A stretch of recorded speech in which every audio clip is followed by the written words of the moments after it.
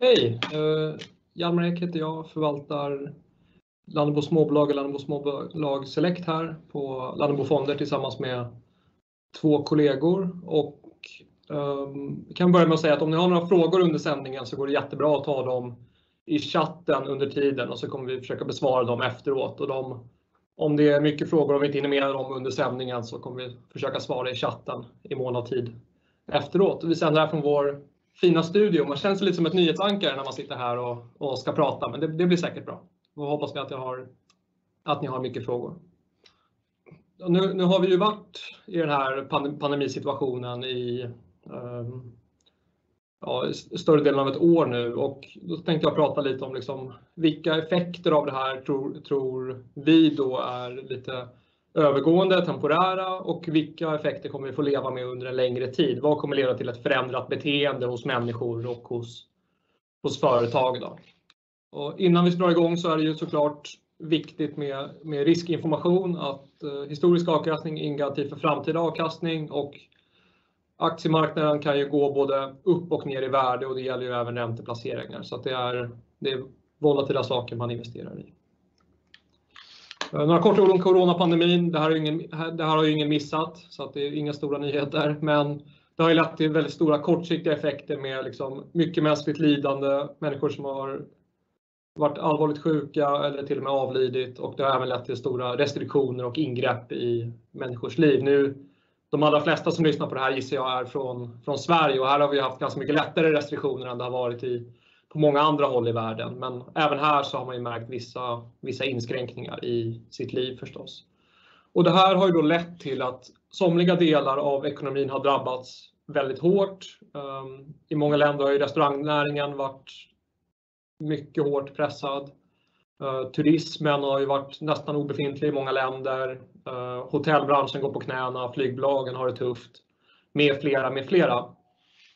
Och de här restriktionerna, människorna har ju fått anpassa sig till det här och man har även ändrat sina beteenden under pandemin. Att man kanske har handlat mer på nätet när butikerna är stängda eller man kanske har jobbat mer hemifrån.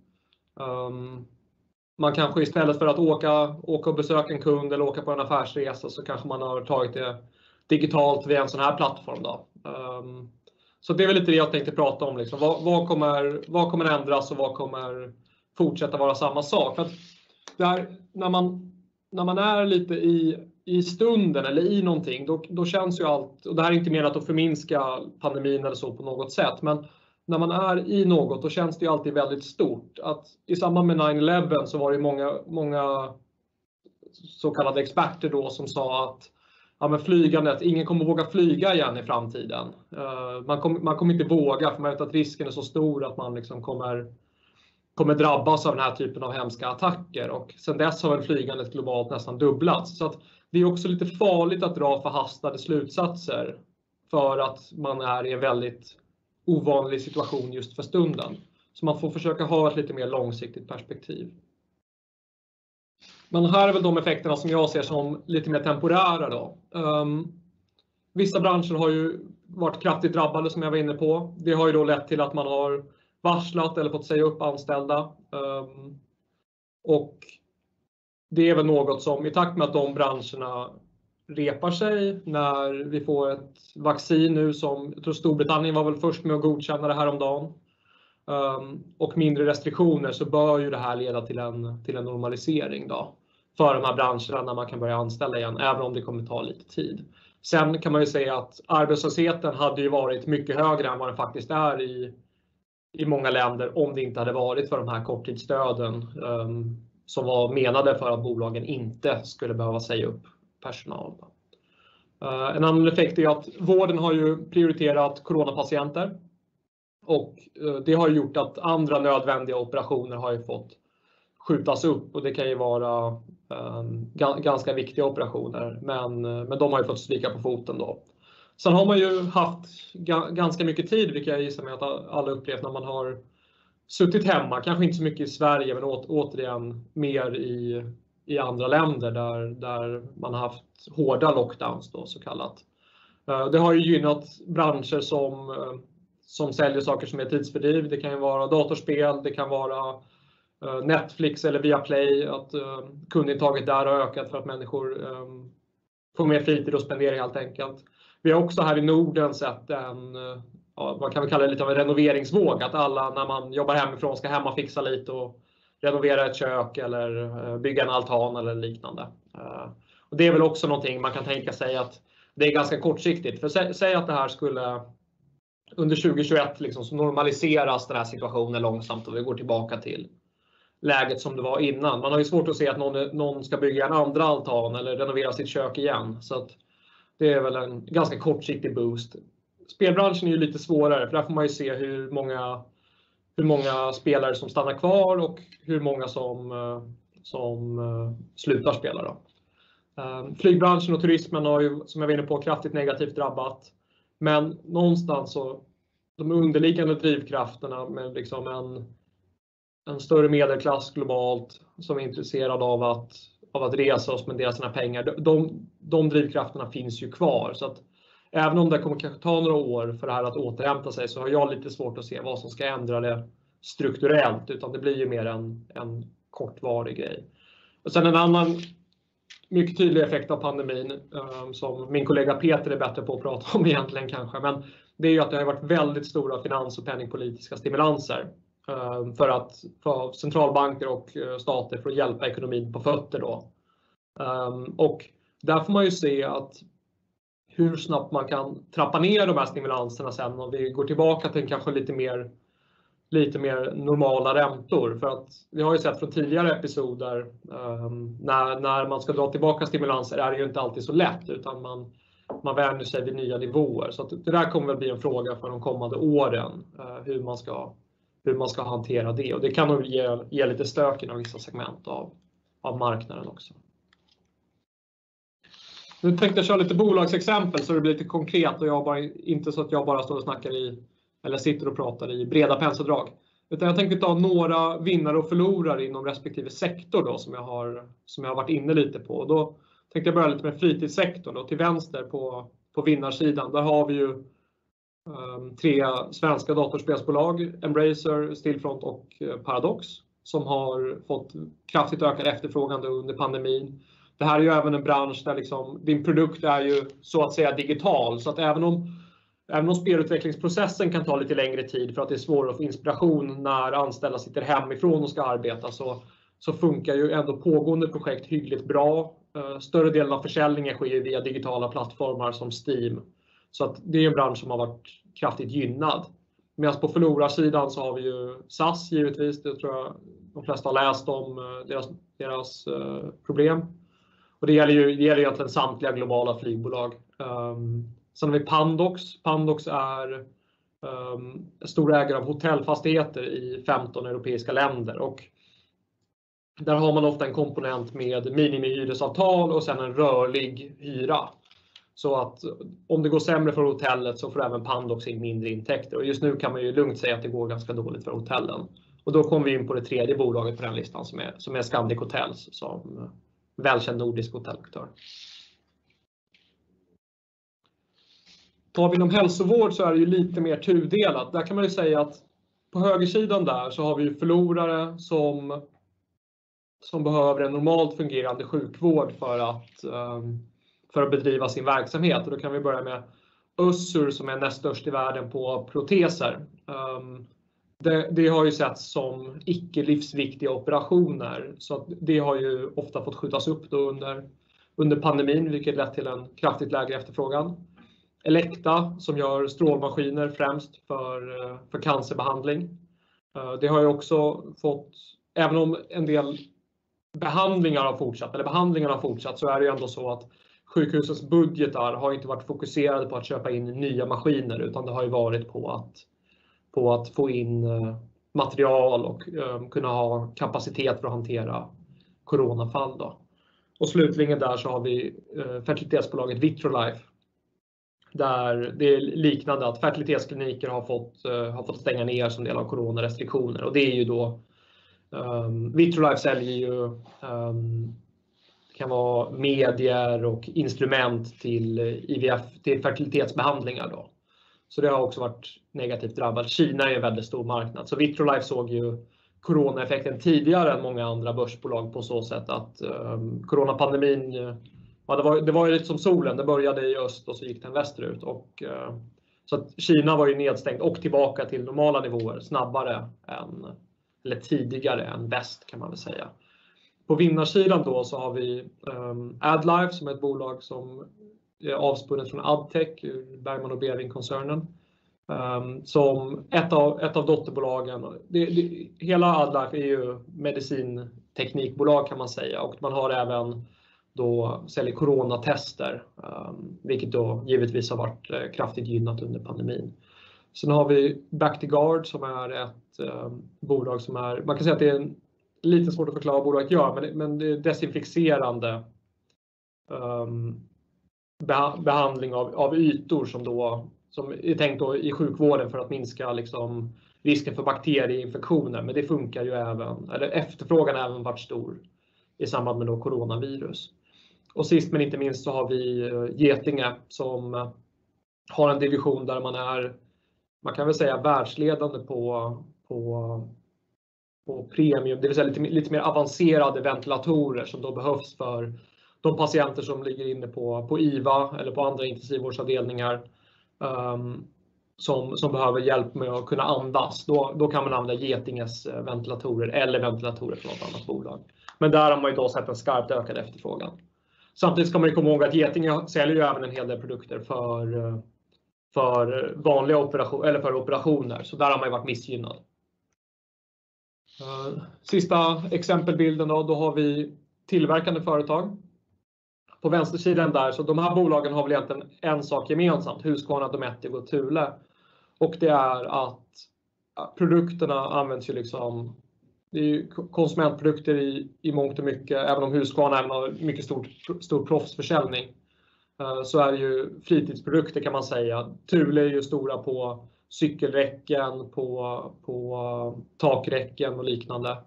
Ehm, som människor nu när man, när man inte får åka utomlands eh, så kanske man semestrar mer i hemlandet och eh, då köper en eh, husvagn eller liknande så man kan åka ut och, och semestra i naturen. Då. Och Dometic säljer ju mycket husvagnstillbehör ehm, eller det kan vara kylskåp i husvagnar eller liknande. Ehm, och Husqvarna då, i, när, alla var, när alla varit hemma under våren och sommaren så har deras försäljning av bland annat robotgräsklippare gått väldigt starkt. På förlorarsidan här så är det lite mer spridd palett. Man kan väl säga att Trelleborg det är ju ett eh, väldigt diversifierat industribolag med många olika slutsegment. Men ett viktigt slutsegment är till, eh, till eh, flygindustrin. Och eh, det, det, har ju givetvis varit så att när, nu när flygbolagen är oroliga för sin överlevnad och är beroende av stöd och fått dra ner kostnader, ja det är inte då man köper nya flygplan. Och det har ju då lett till att tillverkarna, det vill säga Boeing och Airbus företrädesvis, har ju då eh, fått sänka sin produktion när deras orderstock har kollapsat. Eh, och, slut, och sen har vi eh, Fagerhult som är en tillverkare av belysningsarmaturer.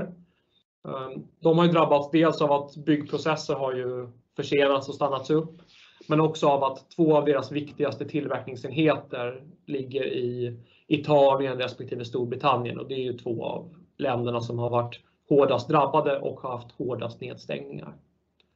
Ehm, och sist då men inte minst så har vi Hexpool som är en, man kan säga en sorts gummiblandare som, som säljer mycket till fordonsindustrin och om, om man tänker tillbaka där så var ju fordonsindustrin en av de hårdast drabbade industrierna under, under det andra kvartalet när det var svårt att få fram varor och eh, många biltillverkare valde att stänga ner under en längre period. Så det drabbade ju, drabbade ju Hexpol hårt. Om vi sen går vidare till min sista bild så får vi hoppas att det finns lite frågor sen också. Då kommer vi till de lite mer långsiktiga effekterna av pandemin.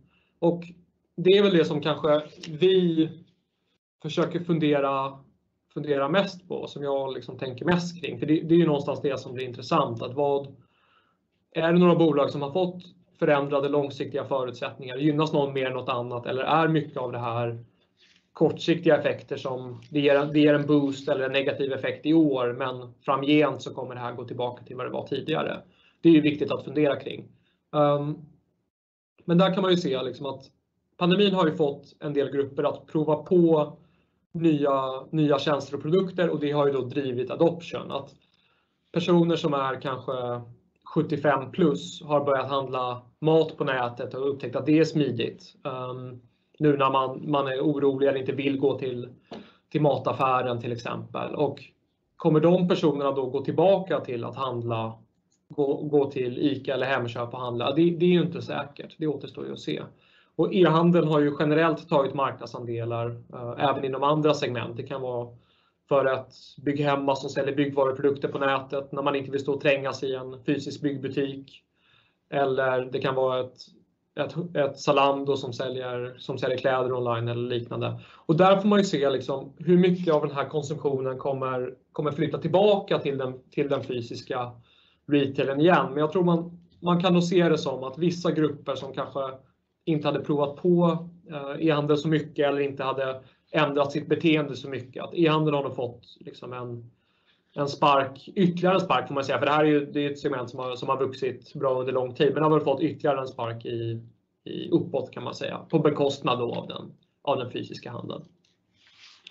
Sen har ju fler människor också liksom behövt anamma digitala arbetssätt, att man, man har eh, haft varierande hemarbete ehm, och även om det nu är det för att liksom anpassa sig till coronarestriktioner så kan man ju fundera på, kommer det här då leda till förändring på sikt? Att vi har ju sett flera, flera bolag varit ute med saker till de anställda och sagt att ja, men, ni kan jobba en eller två dagar hemifrån per vecka och liknande. Man får en, man får en lite mer, liksom, lite mer flexibelt eh, arbetsliv, vilket ju kan, kan vara bra för, för mångas eh, livssituation. Men det kan ju också påverka kontorsmarknaden negativt. Att om, om en väsentlig andel av arbetsstyrkan börjar, börjar arbeta hemma, då, då behöver man ju mindre yta. Eh, men det återstår ju också att se som sagt. En annan ganska tydlig effekt det har ju varit att många bolag har ju i år haft väsentligt lägre kostnader. Och det är dels så har man ju såklart dragit ner sina kostnader och liknande, men det är också så att i vanliga fall så reser ju många, många säljkårer mycket. Man, man står på olika branschmässor och man reser ut till kunder och det har man inte kunnat göra nu. Och där tror jag kanske att man har upptäckt en del att ja, men behöver vi stå på allt det här eller behöver vi Behöver man åka tre timmar för att ha ett kundmöte på en timme eller kan vi ta det här kundmötet digitalt? Um, och det, det, är väl någonting som skulle kunna ge en, liksom en långsiktig förändring och det skulle ju påverka resebranschen och hotell och liknande negativt på sikt ifall det leder till ett eh, lägre affärsresande. Då. Så att, ja, jag, tror, jag tror ni kan, eh, man kan väl se det på slidesen att sliden med, med långsiktiga effekter av pandemin är betydligt kortare än den med kortsiktiga effekter och det beror, det beror väl delvis på att jag tycker att man kanske inte ska dra så mycket förhastade slutsatser av eh, av vad som kommer att ändras. Men några saker är väl tydligt att det har, att det har lett till ett ändrat beteende och det är inte helt lätt att se vad som ska få det beteendet att ändras tillbaka eh, direkt när pandemin är slut. Så så ser det ut. Frågestund. Oj, massa frågor. Ja, ja då så. Första frågan är, är det läge för köp av småbolagsfonder för närvarande eller bör man avvakta? Eh, och jag får inte ge några råd liksom kring, kring eh, köp eller sälj av, eh, av fonder rent generellt. Men man kan ju säga så här att det, det som gjorde att börsen gick svagt under inledningen av året, det var ju oron kring ett vaccin. Man var orolig kring senare del av året kring ett presidentval i USA. Det var mycket osäkerhet och nu kan man säga att ja, men, nu får vi ett vaccin. Presidentvalet är bakom oss och nu ska väl Brexit klaras av också. Men många av de här orosmolnen är ju lyfta och Småbolagssegmentet är ju är ett väldigt spritt segment, men, men vi tycker ju att fortsätta att det finns gott om bolag som är, som är attraktivt värderade och som, har, som är fina bolag med goda möjligheter att växa sina vinster. Andra frågan. Hur ser ni på den positiva påverkan på aktiekursen som skett för till exempel Scandic, hotellbolaget då som vi var inne på, som skedde i samband med optimism kring vaccin? Har man varit för optimistisk för tidigt? Eh, och det där, det där är en jättebra fråga för att givetvis är det så att de allra tydligaste coronaförlorarna, de är även de som har mest att vinna på att det går tillbaka till, till det normala. Men, men det här kommer ju ta, kommer ju ta tid. Så jag, jag kan nog dela liksom frågeställarens um, ja, om, om inte slutsats, men den implicita slutsatsen i frågan att ja, man kanske har tagit ut lite mycket för tidigt, men, men det, det blir ju en förbättring från en väldigt låg bas och då blir ju också ofta kurs, kursutvecklingen ganska explosiv. Men det är väl rimligt att tro att då i takt med att man får eh, i takt med att man får mer positiva nyheter, då kommer ju en del av de här positiva nyheterna redan vara diskonterade. Att vissa av de här eh, recovery-aktierna eller vad man vill kalla det, de bakar ju redan in ett, en ekonomisk återhämtning och en ekonomisk normalisering. Så, att, um, så, så, så kan man väl säga på den frågan. Fråga 3. Utveckling för börsen om coronaproblematiken skulle pågå även under större delen av 2021. Um, ehm, jag brukar försöka, försöka att inte ge börsprognoser och bara hålla mig till, till enskilda bolag. Men, men, om man, man kan väl säga så här att nu är det klart att nu har ju börsen gått väldigt starkt um, och det finns ju i många i förväntningarna för kommande år, för vinstförväntningarna då på bolagen, så finns det en förväntan om att, eh, om att det ska ske en mycket tydlig vinståterhämtning 2021.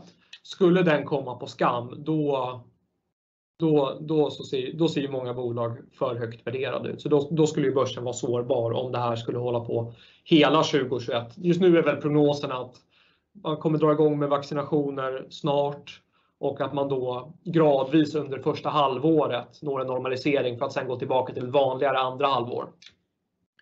Ehm, men, men det, är väl en, det är väl en tydlig kortsiktig risk att, att antingen att något av de här vaccinerna inte fungerar så bra som det gjorde i studierna en annan risk är ju att människor inte vill, vill ta vaccinet för att man är orolig av någon anledning eller inte riktigt litar på någonting. Jag tror det, var en, det var väl en studie i, i Tyskland hyfsat nyligen, tror jag, eller om det var i Frankrike, där ungefär en tredjedel av befolkningen hade tänkt sig att ta, ta vaccinet. Och det är klart att det, det är ju inte en jättebra siffra om man, om man vill få någon sorts eh, generell resistens bland, bland befolkningen.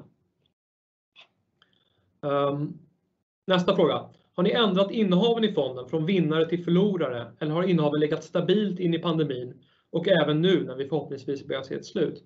Ja, men det där är en jätteintressant fråga och som vi har tänkt på det, vi, vi har vi har väl inte, de, de innehaven som vi har köpt under pandemin, de grundar sig mycket i att vi gillar bolaget och affärsmodellen långsiktigt. Det handlar inte om att vi tror att det är någon pandemivinnare på tre månader eller något sånt där. Så att um, på det sättet så har vi väl om något liksom försökt tänka bort pandemin, att det blir som en, liksom, en stor oväntad händelse.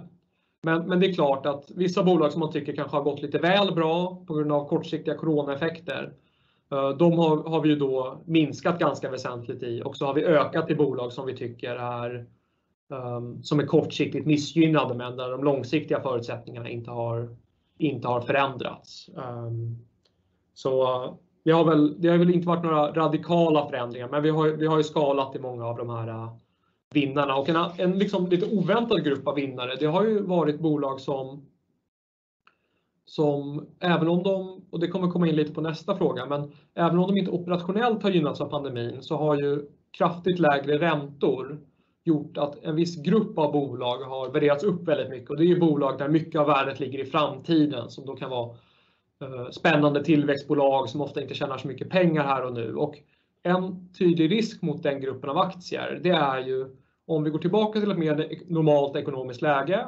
det leder till att vi får lite högre räntor. Ja, då blir ju allt annat lika, de här framtida vinsterna lite mindre värda. Ehm, så det, där har vi väl en, en tydlig riskfaktor också. Och det ser man ju på många av, eh, av bolagen som utvecklas starkt i år, både i Sverige och internationellt. Det är ju mycket Ehm, tillväxttunga bolag med eh, förhållandevis stora börsvärden jämfört med nuvarande vinster, men som anses ha starka marknadspositioner och, kunna, och kommer kunna fortsätta växa bra, bedömer marknaden. Då. Ehm, sen har vi branscher man bör undvika och som ni helt undviker närmaste året eller åren. Alltså, det, det är en intressant, uh, intressant fråga. Vi är ju ganska eller mycket skulle jag säga, bolagsspecifika. Så att vi försöker fokusera på, hittar vi ett, ett bra bolag, om det råkar vara ett skogsbolag eller ett industribolag, det är, det är ju inte det som är huvudsaken utan det börjar ju med bolaget och dess förutsättningar. Sen har vi ju ett antal branscher som vi exkluderar av hållbarhetsskäl, att vi investerar inte i, i oljebolag eller gambling eller eh, alkoholbolag och liknande. Och många av de, av de branscherna, eh, de kan man ju se att de får ju i takt med att ehm, i takt med att det sker strukturella förändringar i samhället så det är klart att oljebranschen om tio år, även om många bolag är lågt värderade här och nu, så kanske det, det den går väl en ganska tuff framtid till mötes, även om saker kan hända kortsiktigt och sådär. Men nej, jag har nog ingen sån här bransch som jag känner att nej, men det, här kan man, det här kan man inte äga. Det är väl, vi har ju aldrig varit investerade i liksom, rena flygbolag, om man nu skulle ta någon bransch ändå. Och jag, jag har väl extremt svårt att se att man, att man ska vara det.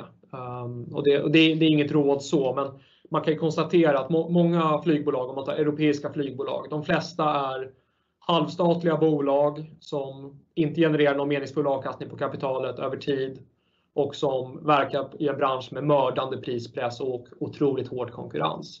Där det dessutom ska ske, måste ske en betydande omställning då in i mer eh, in i mer hållbara bränslen eh, till exempel. För flygbolagen släpper ju ut mycket och då är frågan vem ska, någon ska ju betala för de investeringarna också. Sen kan det vara staten eller det kan bli kunderna i slutändan. Men det är ju en väldigt tuff bransch som jag tror att man kan vara lite försiktig med. En till fråga. Hur ser ni på förändringen för kontorslokaler? Skillnad mellan fastighetsbolag med bättre och sämre lägen? Samma eller mindre yta i framtiden? Ja, men det är en jättebra fråga, eller frågor, det är ju flera frågor igen. Men um, mellan fastighetsbolag så har det varit stora skillnader. Att man kan väl säga att kontor och retailbolag har ju varit eh, ganska, kurserna har varit ganska hårt drabbade. Och i retail så är det klart att den här eh, kraftiga tillväxten för e-handel, den ställer ju frågor kring eh, ja, men vad kommer hända med ett bolag som huvudstaden som har, som har mycket retailfastigheter i attraktiva lägen.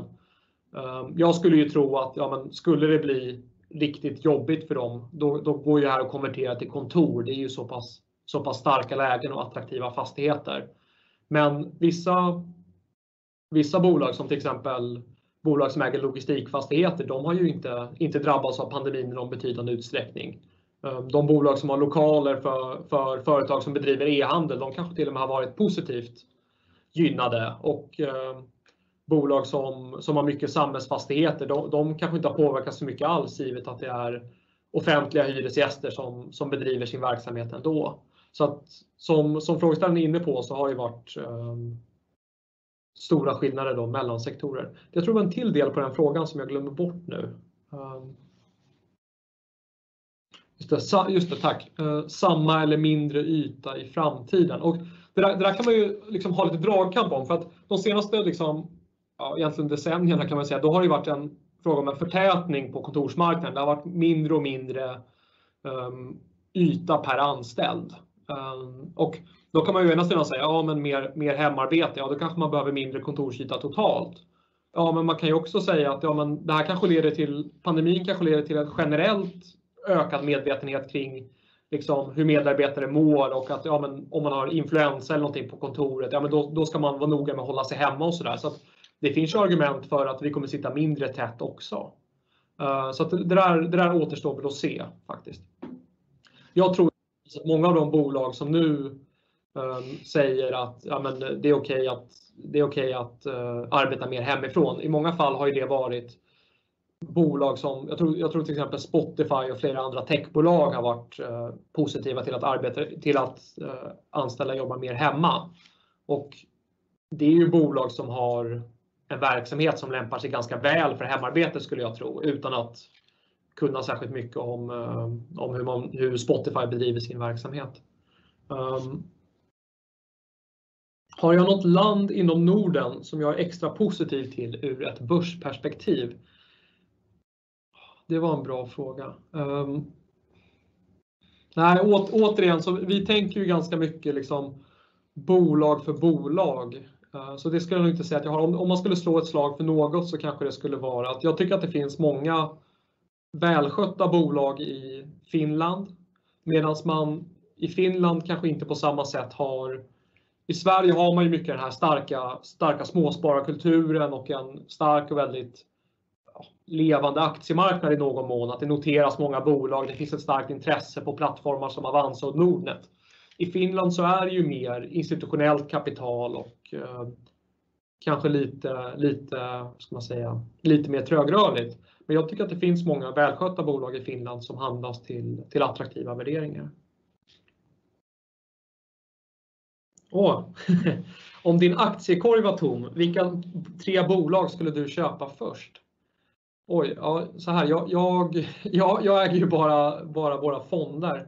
Så att min aktiekorg är ju någon bemärkelse tom, men om man inte får svara fonderna som, som vi har då, då skulle jag väl säga att får jag, får jag ge tre, tre aktier? Det får jag. Ja. Ja. Um, ehm, ja, men då skulle jag börja med att säga Trelleborg, industribolag, som handlas det är för, för lågt värderat. Bolaget har många saker de kan göra med sin, med sin portfölj där man har sagt att man ska sälja vissa underpresterande enheter. Um, när man gör det så kommer man få en större krigskassa som man kan använda för att, för att återinvestera i, i förvärv till de bättre presterande enheterna. Eh, Flyg efterfrågan tror jag kommer repa sig. Eh, det kommer hjälpa vinsten. Dessutom så är en hyggligt väsentlig del av bolagets vinst kommer från jordbruksdäck och det är en marknad som har varit svag väldigt länge. Så jag tycker att man betalar låga multiplar för väldigt låga vinster. Eh, jag tror, jag tror att aktien handlas på någonstans P12, P13 på nästa års vinst. Och det tycker jag är för lågt för ett bolag som faktiskt är världsledande inom många av sina nischer. De är till exempel världens i princip enda tillverkare av ehm, så gummitätningar till, ehm, till landningsställen på flygplan. Det är ju en otroligt liten del av totalkostnaden i ett flygplan givetvis. Men det där måste ju funka.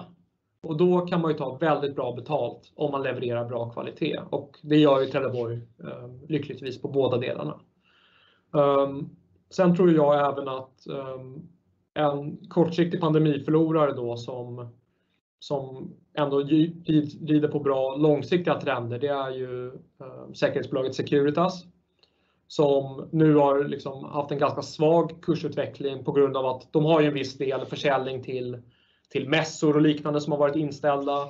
Jag tror att 7-8 av, in, av eh, försäljningen går ju till eh, flygplatssäkerhet. Ja, den kan man ju räkna ut själv att den har ju varit väsentligt lägre nu då. Men långsiktigt så är det här ett bolag som går mot, även om det har gått långsammare än man kanske har kunnat förvänta sig, så går det ju mot mer elektroniskt innehåll. Eh, det kommer ge en, mer, en större stabilitet på sikt och förhoppningsvis högre marginaler. Och i takt med att man gör den här resan mot mer elektronisk bevakning, nu kan man, ju, man kan ju diskutera hur snabbt en marginalförbättring kommer gå, men det blir ju färre och färre konkurrenter som kan som kan göra det. Säg att eh, jag och eh, ni som lyssnar säger att ja, men vi ska smälla upp ett eh, säkerhetsbolag. Om man bara har fysisk bevakning och vi, vi går runt och patrullerar i lite olika butiker. Det är ju väldigt enkelt att starta. Men ska, det, ska man ha en, en, en övervakningscentral, det ska finnas kameror kopplade, det ska, det ska integreras mycket mer, då blir det snabbt en mycket komplexare apparat och det brukar också leda till i de flesta branscher att man kan ta bättre betalt. Ehm, slutligen så skulle jag kanske slänga in ett finskt bolag som heter, eh, som heter Basware som är ett finskt IT-bolag. Ehm, man kan säga att de, lite enkelt förklarat kan man säga att de, de hjälper till att digitalisera bolags inköpsprocesser. Så att man hjälper till med fakturahantering, så att den blir, man får elektroniska fakturor, ehm, inköpsprocessen underlättas genom deras eh, system. Och det, det är ju någonting som jag tror, om, man, om vi pratar om långsiktiga pandemieffekter, även om det inte är därför vi köpte aktien, så tror jag att många bolag som var tvungna att skicka in anställda till kontoret i till exempel Tyskland eller Frankrike när man inte skulle ha några anställda på plats, som var tvungna att skicka in anställda för att de var tvungna att gå och hämta pappersfakturor och gå och betala dem. Ehm, där tror jag att man kanske kommer att tänka efter att måste vi inte ha ett mer robust system som möjliggör att det här kommer funka ändå och då är elektroniska fakturor väldigt logiskt och dessutom mer positivt ur ett miljöperspektiv. Så det var nog de, nu ska vi se här. Det var nog de bilderna jag hade och då ska vi nog slå ett slag även för att nästa vecka, det är väl om precis en, ja, precis en vecka, då är det dags för mina kollegor eh, Robin Nestor och Martin Wallin att prata om eh, svenska aktier och vad de ser för, för trender och eh, intressanta spaningar in i 2021. Så om ni har lust att lyssna på det så får ni jättegärna anmäla er. Och stort tack för mig och jättetack för alla bra frågor.